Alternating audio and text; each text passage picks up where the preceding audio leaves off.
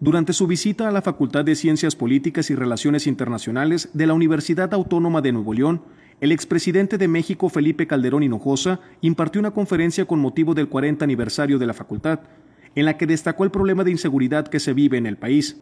Ante decenas de alumnos y docentes, Calderón Hinojosa planteó tres ejes para combatir la violencia. No implica que vaya a desaparecer el narcotráfico el narcomenudeo, lo que implica es terminar la captura del Estado para que revierta. Bueno, con esa idea en cabeza, digamos, fue como empezamos a actuar, como lo voy a brincar. La estrategia consistió en tres cosas. Primero, combate al crimen organizado. ¿Por qué razón? Porque la idea era que el crimen organizado no se debía combatir, que había que dejarlo. ¿Qué es lo que me reprochan a mí? Que tonto Calderón se metió con los criminales. No, señores, el problema de México no es por haber combatido a los criminales. El problema de México vino porque no se les combatió a tiempo. Se metieron hasta la cocina, controlaron órganos del Estado. Y por eso tuvimos el problema.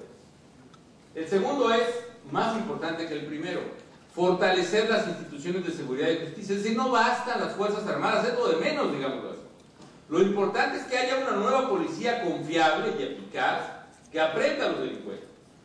Lo importante es que haya fiscales con, con ministerios públicos que puedan llevar exitosamente un juicio. Por otra parte, el expresidente resaltó que durante su gestión 2006-2012 disminuyó la deuda pública.